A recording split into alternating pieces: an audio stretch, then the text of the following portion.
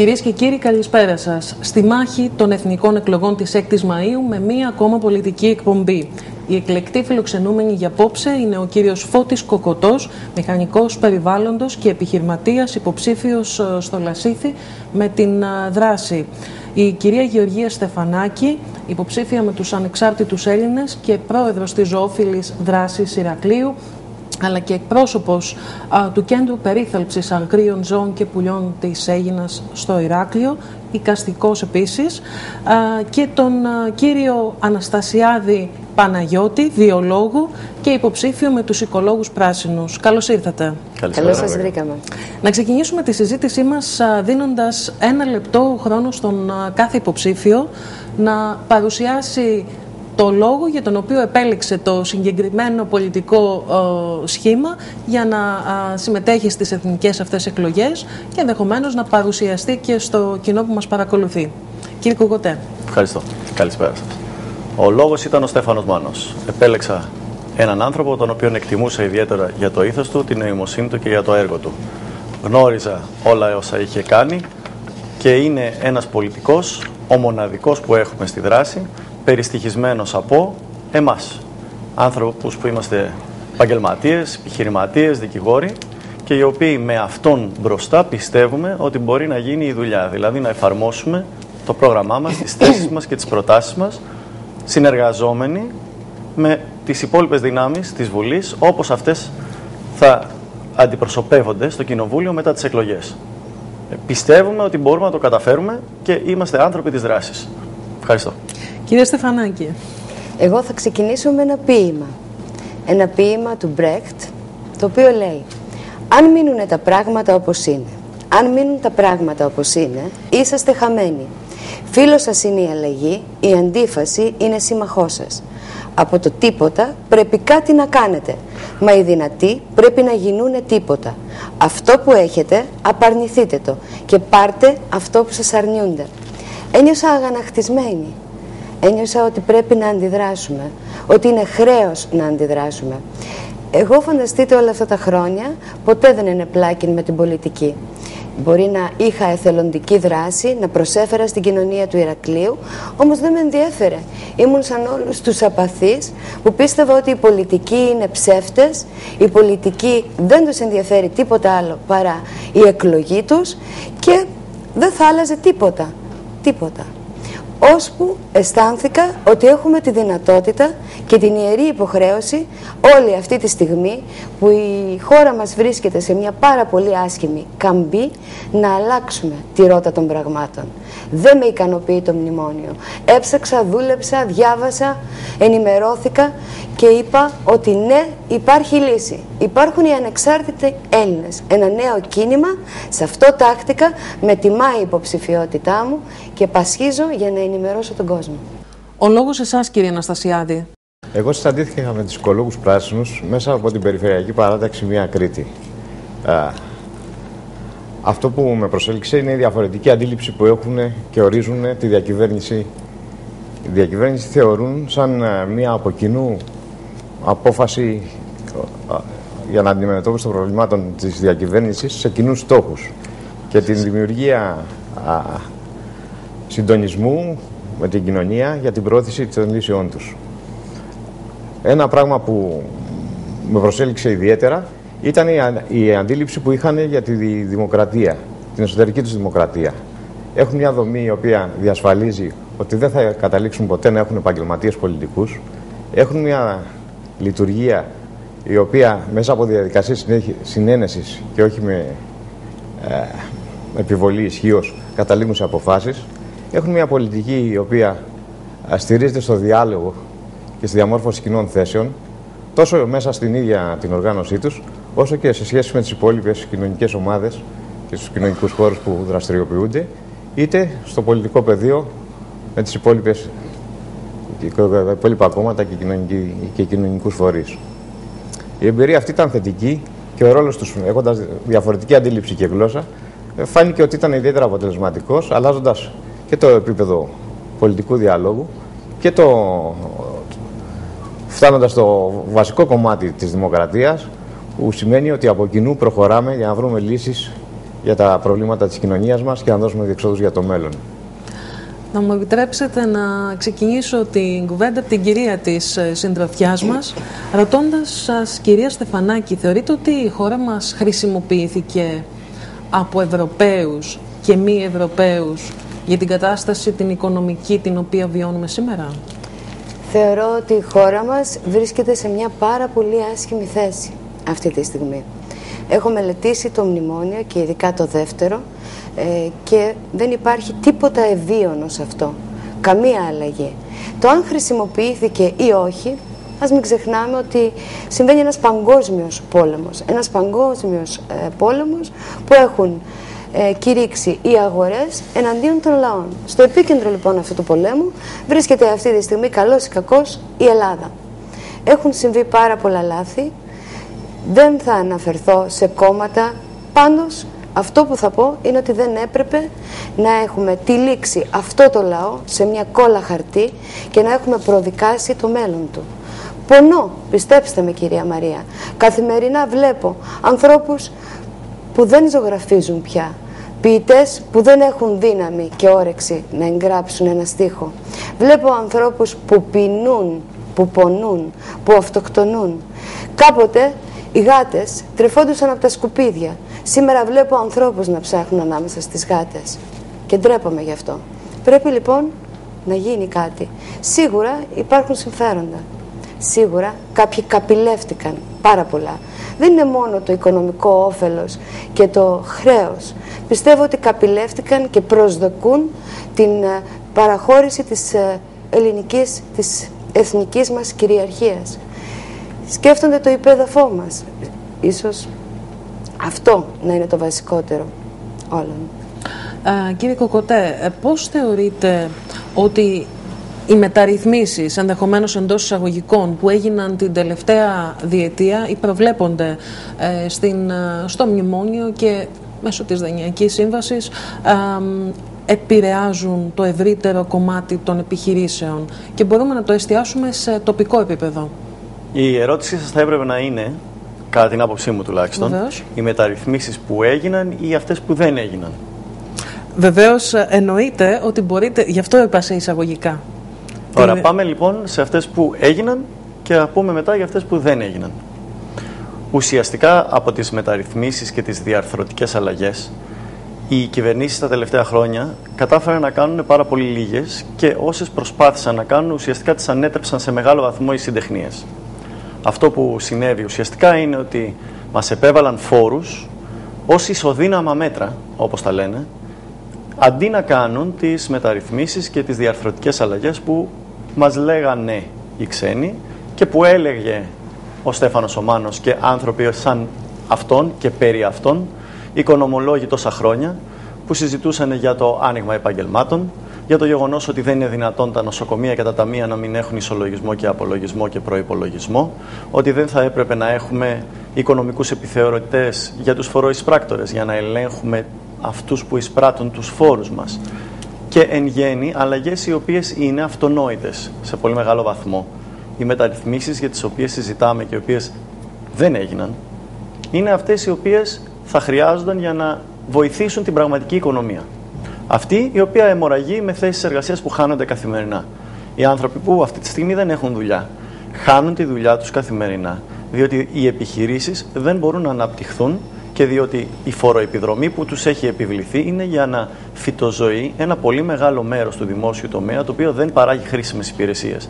Έχουμε δηλαδή περικόψει οριζοντίως όλους τους μισθούς στο δημόσιο κάνοντας αυτούς που παράγουν χρήσιμα πράγματα όπως ας πούμε εθνική ασφάλεια, όπως εθνική άμυνα να νιώθουν πάρα πολύ άσχημα ότι το έργο τους κανένας δεν το λαμβάνει σοβαρά υπόψη οι δικαστές, οποιοδήποτε φέρει τη δουλειά του και τη θέση του βαρέως. Και υπάρχουν ταυτόχρονα ένα σωρό άνθρωποι οι οποίοι δεν εμφανίζονται καν στη δουλειά τους, δεν δουλεύουν ένα ολόκληρο οκτάωρο, δεν παράγουν τελικά ουσιαστικές υπηρεσίες και αγαθά, στερώντας με τους μισθούς τους το εισόδημα του κάθε φτωχού, του κάθε συνταξιούχου, το οποίο, ο οποίος το βλέπει να μειώνεται και να μειώνεται και τη δουλειά του να χάνεται, για να πληρώνει αυτά τα πράγματα. Αυτές είναι οι μεταρρυθμίσεις που δεν έγιναν. Υπήρξαν μεταρρυθμίσεις που έβλεψαν την επιχειρηματικότητα κύριε Κοκοτέ.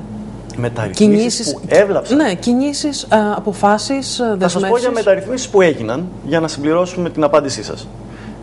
Η κυβέρνηση Παπανδρέου με την Τρόικα από πίσω έκανε απογραφή των δημοσίων υπαλλήλων και ενιαίο μισθολόγιο βάσει της απογραφής. Αυτό ήταν κάτι το οποίο τουλάχιστον ο Στέφανος, ο Μάνος και εμείς οι άνθρωποι της αγοράς το λέγαμε 20 χρόνια τώρα, 30 χρόνια τώρα. Είναι ποτέ δυνατόν να διοικήσω εγώ μια επιχείρηση ή να στήσω μια επιχείρηση και να μην ξέρω πόσους έχω και τι πληρώνονται; Όχι βέβαια. Οπότε έπρεπε να έρθουν οι ξένοι για να μας πούνε με το μνημόνιο Ξέρετε, πρέπει να μετρήσετε πόσους δημόσιους υπαλλήλους έχετε και πόσο τους πληρώνετε. Ακούγεται τελείως τρελό ότι έπρεπε να έρθουν οι ξένοι να μας το πούνε αυτό. Και όταν αντιδρούμε με το μνημόνιο και λέμε ότι αυτά είναι λάθος και λάθος πολιτική, διαβάζω εγώ αυτά τα πράγματα μέσα και λέω, Μα μισό λεπτό. Είμαστε εναντίον της καταγραφής των δημοσίων υπαλλήλων; Είμαστε εναντίον του να ξέρουμε πόσο πληρώνουμε και σε ποιον και γιατί και τι παράγει αυτός; Όχι προφανώς. Αυτά λοιπόν το μνημόνιο. Γιατί το έτσι όπως μας το λέτε, Ε, πείτε μου τα όλα τα άλλα να σας απαντήσω ένα προς ένα. Το μνημόνιο ζητάει συγκεκριμένα στοιχεία. Αλλά Δηλαδή; αυτό που ήθελα εγώ να ρωτήσω πριν, αναφερθήκατε σε μέτρα τα οποία έπρεπε να είχαν γίνει. Ε, Ποια περίοδο αναφέρεστε ακριβώς για να καταλάβω, μετά Τρόικας ή πριν; Από τότε που μπήκαμε στην Ευρωπαϊκή. Από τότε που Οικονο- μπήκαμε στην Ευρωπαϊκή. από τότε που μπήκαμε στην ΟΝΕ, στην, ε, στο ευρώ ουσιαστικά. Έτσι.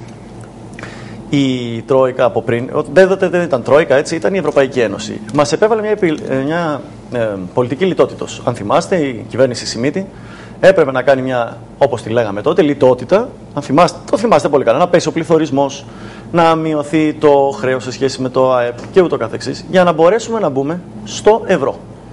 Η πολιτική αυτή ήταν μια πολιτική ιδιωτικοποιήσεων, απελευθέρωσης αγορών και πολλά πράγματα τα οποία είχε προτείνει ο Στέφανος Ομάνος όταν ήταν στην κυβέρνηση Μητσοτάκη και όταν τα ψήφισε αυτά τα μέτρα, γιατί θεωρούσε ότι ουσιαστικά αντιγράφουν τη δική του πολιτική, η Νέα Δημοκρατία τον διέγραψε από το κόμμα της Νέας Δημοκρατίας, ακριβώς επειδή επί της αρχής συμφώνησε ότι αυτά τα πράγματα που λένε και κάνει η κυβέρνηση Σιμίτη είναι επί της αρχής σωστά και πρέπει να γίνουν.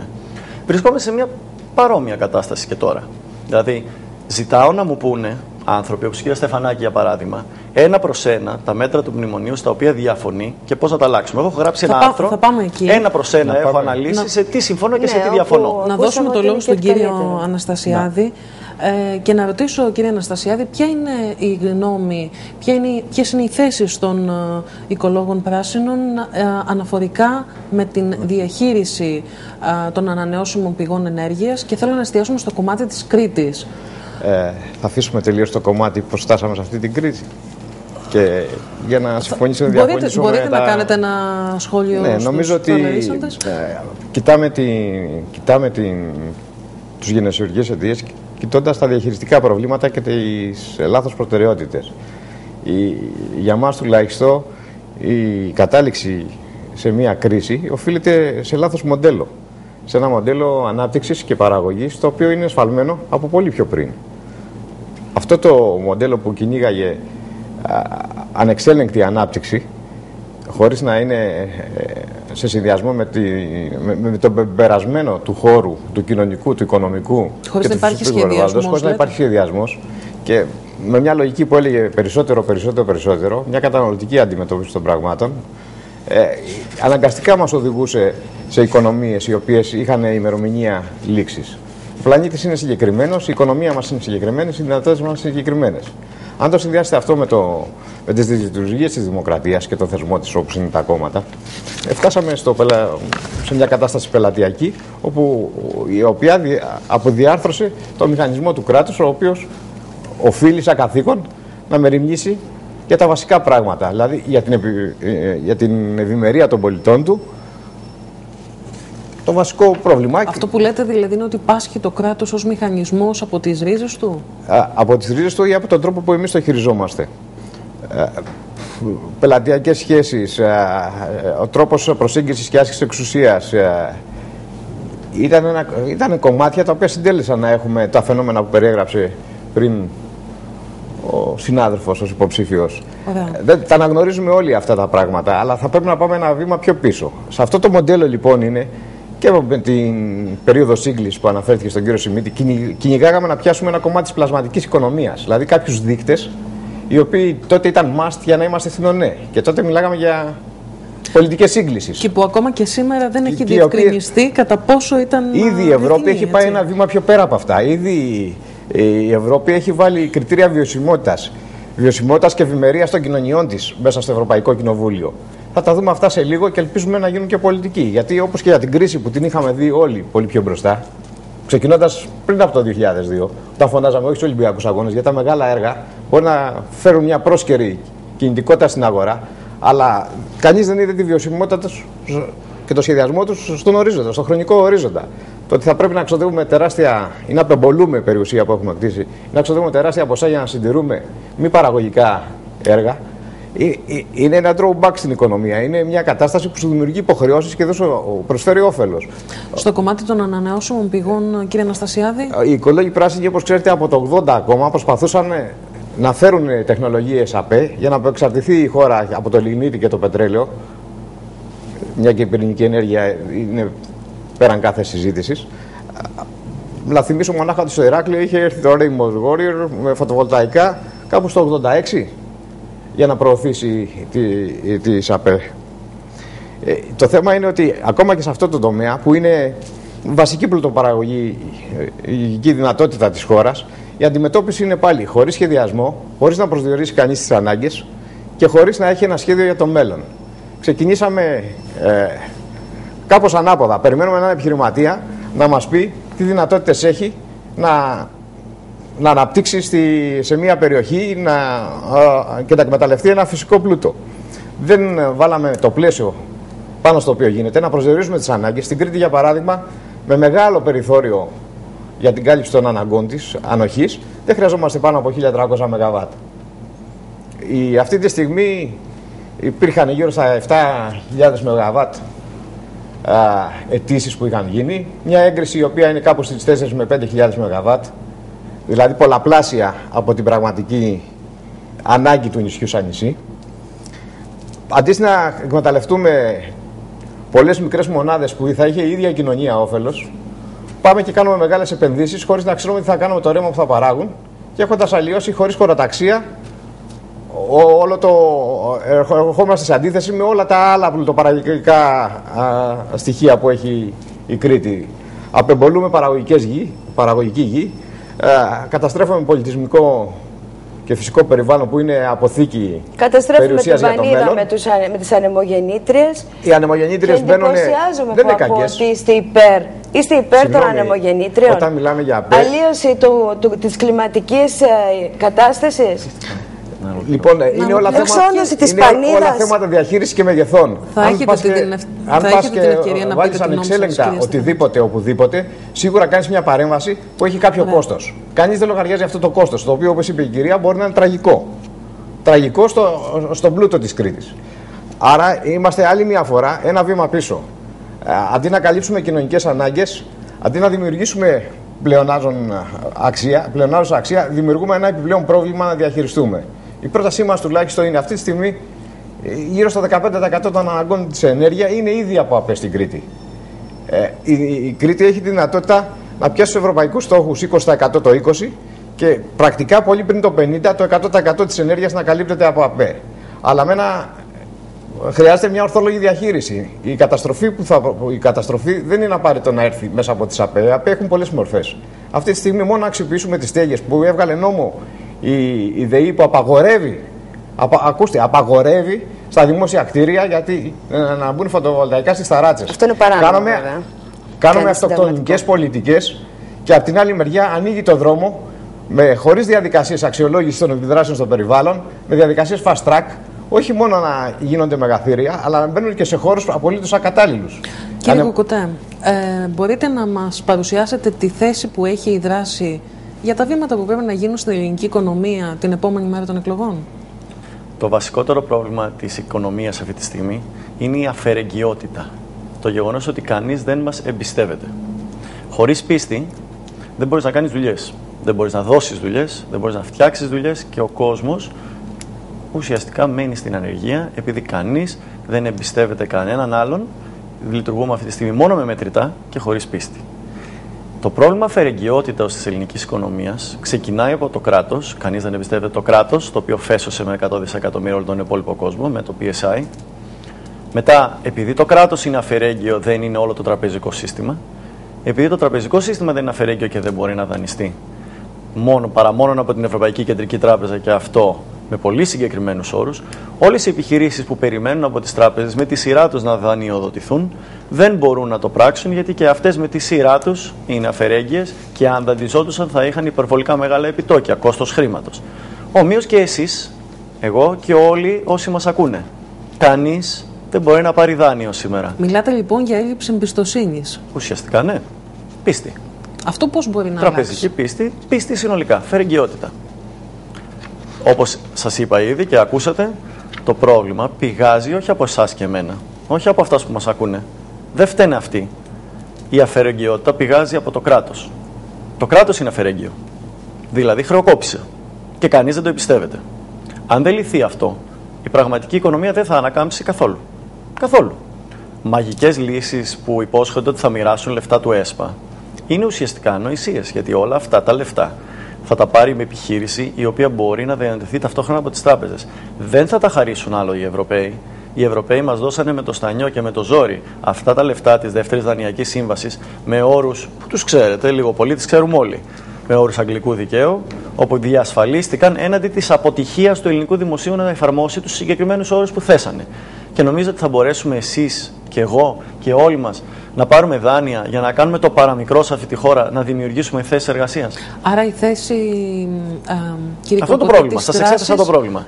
Βεβαίως. Πρέπει να λυθεί το πρόβλημα αφαιρεγγιότητας του κράτους. Δηλαδή, Πώς; Πώς; το Τι γεγονός προτείνετε; ότι το κράτος είναι αφαιρεγγύο είναι επειδή ξοδεύει περισσότερο από όσα εισπράττει. Άρα, ή θα κάνει το πρώτο ή το δεύτερο, ή θα αυξήσει όσα εισπράττει, δηλαδή και άλλους φόρους. Είναι η λύση που εφαρμόστηκε μέχρι τώρα και είδου τα αποτελέσματα. Και η δεύτερη λύση είναι να περικόψει τις δαπάνες. Η θέση μας είναι ότι πρέπει να περικοπούν όλες εκείνες οι δαπάνες που θα φέρουν πρωτογενές πλεόνασμα άμεσα. Διότι έτσι θα δείξουμε επιτέλους ότι εμείς εισπράττουμε περισσότερα από όσα ξοδεύουμε και άρα μπορούμε να αποπληρώνουμε τα χρέη τα οποία συσσωρεύσαμε. Δεν θα χρειαστεί από εδώ και πέρα να συσσωρεύουμε άλλα χρέη, θα πρέπει να αποπληρώνουμε τα παλιά χρέη. Αν αποκατασταθεί το χάσμα φερεγγιότητας, με αυτόν τον τρόπο θα αποκατασταθεί και η εμπιστοσύνη των τραπεζών και κατ' επέκταση το, η εμπιστοσύνη σε όλες τις επιχειρήσεις και σε εμάς για να μπορέσει να επανεκκινήσει η οικονομία. Αυτός φοβούμαστε δεδομένου του συστήματος που έχουμε τώρα. Άλλοι μιλάνε για ανατροπή αυτού του συστήματος συνολικά. Και οι πολίτες μπορούν να ψηφίσουν αν θέλουν όλο αυτό το σύστημα να το ανατρέψουν και να το αντικαταστήσουν με κάτι άλλο. Αυτό όμως είναι τι- μόνο ποια για το είναι η- ελληνικό κράτος, κύριε Κοκοτέ. Συγχωρείτε. Μήπως δηλαδή η, το, η έλλειψη φερεγγιότητας είναι ένα ευρύτερο ευρωπαϊκό χαρακτηριστικό αυτή τη στιγμή; Μήπως δηλαδή η χώρα μας είναι κομμάτι μιας ευρύτερης α, αλλαγής Δηλαδή μου στα λέτε μήπως πλαίσια... δεν φταίμε εμείς, μήπως φταίνουν οι άλλοι, αυτό λέτε; Όχι, λέω πέρα από την αναγνώριση της δικής μας ευθύνης και των, ε, και των κινήσεων που πρέπει να γίνουν στο ελληνικό κράτος. Ναι. Θέλω να πω μήπως πρέπει να θεωρήσουμε όμως και την ευρύτερη ευρωπαϊκή διάσταση του θέματος.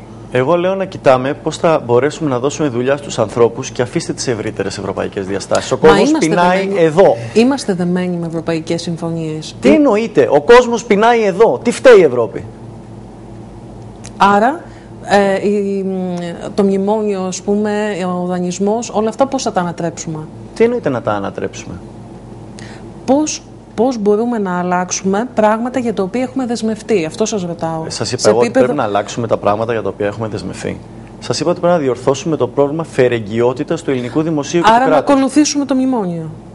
Με συγχωρείτε, έχετε διαβάσει το μνημόνιο; Βεβαίως. Ωραία. Θυμάστε εκεί που λέει ότι πρέπει να επιταχύνουμε τη δικαιοσύνη; Συμφωνείτε ή διαφωνείτε; Πρέπει θα να μου το πείτε πατάξουμε τη εσείς. γραφειοκρατία. Συμφωνείτε ή διαφωνείτε; Εσείς συμφωνείτε ότι πρέπει να πατάξουμε τη γραφειοκρατία; Ε, σαφέστατα. Συμφωνείτε ότι πρέπει να επιταχύνουμε τη δικαιοσύνη; Σαφέστατα. Συμφωνείτε ότι τα νοσοκομεία πρέπει να έχουν ισολογισμούς και απολογισμούς; Συμφωνείτε ότι πρέπει να χρυσώσουμε το χάπι; Ε, δεν το γρα... Τι συγγνώμη; Πρέπει να χρυσώσουμε Λοιπόν, το χάπι. Αυτό Υπάρχουν, αισθάνομαι. υπάρχουν Ε, και άλλοι επομένως, παράμετροι όμως που το πρέπει ίδιο να- το Υπάρχουν λοιπόν μνημόνιο- και άλλες παράμετροι. Το ίδιο το Συμφωνώ.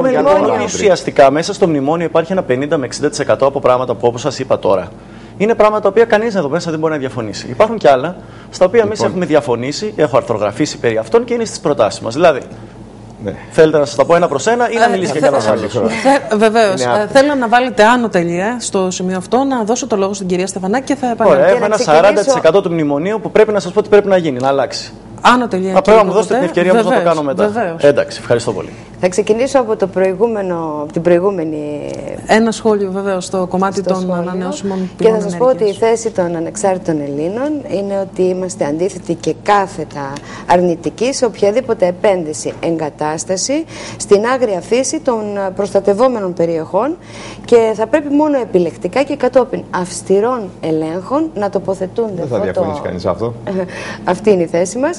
Ε, Όπως θα πρέπει να ελεγχθεί η νομιμότητα και, και η συνταγματικότητα οι διαδικασίες που ήδη ακολουθήθηκαν.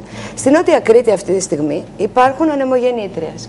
Στο Ελληνικό Κέντρο Περίθαλψης μας έχουν μεταφερθεί ε, χτυπημένα πουλιά τα οποία δεν επανήλθαν ποτέ. Η, και όταν λέμε πτηνά εννοούμε βιολόγος είστε, ναι. φαντάζομαι. Ε, εννοούμε ε, καναβούς, σχάρες. Σχάρες κυρίως. Σχάρες κυρίως, οι οποίες είναι απειλούμενο είδος και πάρα πολύ χρήσιμο για την ισορροπία του οικοσυστήματος. Ο, το, το θηρευτής. Ο, ο μεγαλύτερος θηρευτής. Ακριβώς.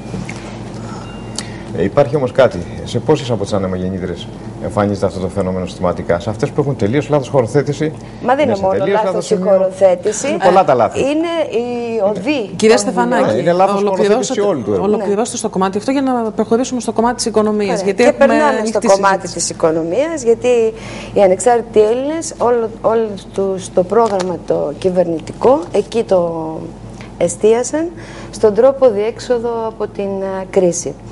Ε, οι ανεξάρτητοι Έλληνες ε, επιθυμούν να προσβάλλουν τα μνημόνια, τις δανειακές συμβάσεις ως αντισυνταγματικές, ε, καταχραστικές και επιθυμούμε να λογιστικοποιηθεί και να μετρηθεί ξανά, να επαναπροσδιοριστεί το πραγματικό μας χρέος. Θεωρούμε ότι στα 360 που καλούμαστε να πληρώσουμε ως χώρα, ε, μόνο το 130 δισεκατομμύρια είναι πραγματικό χρέος. Τα υπόλοιπα ε, περιέχουν τοκοχρεολύσια, κεφαλοποιημένους τόκους και διάφορες μίζες, ληστρικά επιτόκια, τα οποία εμείς καλούμαστε να πληρώσουμε. Ε, οι ανεξάρτητοι Έλληνες, εάν το επιθυμήσει ο ελληνικός λαός και κυβερνήσουμε, ε, αμέσως θα καταγγείλουμε το μνημόνιο της Δανειακές Συμβάσεις και θα ζητήσουμε τη λογιστικοποίηση και την, ε, τον επαναπροσδιορισμό του χρέους. Επίσης, θα ιδρυθεί αμέσως μια ελληνική τράπεζα επενδύσεων, η οποία ε, θα μπορεί... Είχαμε ξανά. Τι; ΕΤΒΑ είχαμε ξανά. Όχι ΕΤΒΑ. Ε, ε, μια ελληνική τράπεζα επενδύσεων η οποία θα μπορεί να χρηματοδοτεί όλες τις επιχειρήσεις. Θα μειωθεί αμέσως το ΦΠΑ. Το, το ΦΠΑ θα κατέβει στο 5% με maximum 15% για να μπορέσει να ε, αν θυμάστε καλά κύριε Κοκοτέ, στο μνημόνιο είναι απαγορευτικό η μείωση του ΦΠΑ. Μόνο αύξηση του ΦΠΑ θα έχουμε από τούδε και στο εξής. Το μνημόνιο λέει μείωση όλων των φορολογικών συντελεστών συμπεριλαμβανομένου του ΦΠΑ. Θα το βρείτε στη δεύτερη σελίδα. Το έχω μαζί μου και θα σας το δείξω αμέσως. Ειδικά για το όλων ΦΠΑ. Των φορολογικών Ειδικά για το ΦΠΑ. Και ιδιαίτερα το ΦΠΑ, εμείς έχουμε προτείνει 10 και 20% σταθερούς συντελεστές. Ολοκληρώστε κυρία Στεφανάκη. Επίσης θα απαιτήσουμε τις γερμανικές, το χρέος τα οφειλόμενα από τη Γερμανία. Μας οφείλουν το κατοχικό μας δάνειο, το οποίο ανέρχεται με, τους, ε, με το χαμηλότερο επιτόκιο άνω των 200 και ε, δισεκατομμυρίων. Κύριε Αναστασιάδη, θέλετε να παρέμβετε; Να συνεχίσω. Ναι, είναι μερικά πράγματα τα οποία πρέπει να βάλουμε Πολύ σύντομα, σας παρακαλώ, γιατί πρέπει να περάσουμε σε ένα διαφημιστικό ναι. διάλειμμα. Ναι. Ε, πολύ σύντομα. Το κομμάτι που είναι επανείδιστο και παχθέ χρέος είναι ένα κομμάτι χρέος το οποίο είναι υπό εξέταση και συζητήσιμο και διαπραγματεύσιμο. Το αν θα έχουμε την επόμενη μέρα, ακόμα και αν μας εκμηδενιστεί το χρέος, τη δυνατότητα μέσα σε ένα χρόνο να δημιουργήσουμε πλεόνασμα ή έλλειμμα, είναι ένα ζήτημα και μια ερώτηση που πρέπει να εξεταστεί. Ε, Επίσης, το αν είναι διαπραγματεύσιμο και τι εξαρ... Ε, είναι ένα πολιτικό πρόβλημα έτσι κι αλλιώς όλη η διαχείριση του χρέους. Είναι ένα πρόβλημα το οποίο αφορά την Ευρώπη εκτός από την Ελλάδα. Άρα και από εκεί αλλάζουν οι ισορροπίες, αλλάζουν οι θέσεις. Ήδη από τις 25 Μαρτίου του 10 οι οικολόγοι πράσινοι στο Ευρωκοινοβούλιο είχαν κατεβάσει ένα ψήφισμα για... και πήραν απόφαση για ε, ευρωομόλογο, για να δημιουργεί ενός ευρωομόλογο που θα μπορούσε η ίδια η Ευρώπη να τα, τα κράτη και όχι τις τράπεζες, αυτό που συμβαίνει μέχρι τώρα, το οποίο ψηφίστηκε με μεγάλες πληροφορίες και πάρθηκε απόφαση, στο οποίο και η Νέα Δημοκρατία και το ΠΑΣΟΚ το ψήφισαν, περίεργω όχι τα κόμματα της αριστεράς στο Ευρωκοινοβούλιο, είναι απόφαση του Ευρωπαϊκού Κοινοβουλίου. Τώρα, αν ε, η, η Κομισιόν δεν το έκανε εφαρμοστική πολιτική, αυτό οφείλεται στις οροπίε που κρατούν στην Ευρώπη. Είναι μια κουβέντα που έχει ξεκινήσει και προχωράει. Άρα, ένα κομμάτι είναι αυτό. Το πώς εμείς θα λύσουμε το δικό μας πρόβλημα είναι πώς θα αντιμετωπίσουμε τη δικιά μας υπόθεση, που είναι η ελληνική υπόθεση. Στην ελληνική υπόθεση έχουν γίνει επίσης τραγικά λάθη. Μας μιλήσαμε πριν για επιχειρηματικότητα. Θα περάσουμε σε αυτά αμέσως μετά το Για πρωτογενή παραγωγή, που μπορεί να δημιουργήσει πλεονάσματα. Άνω τελεία, κύριε Αναστασιάδη. Θα περάσουμε σε ένα σύντομο διαφημιστικό διάλειμμα και επιστρέφουμε και πάλι στο στούντιο.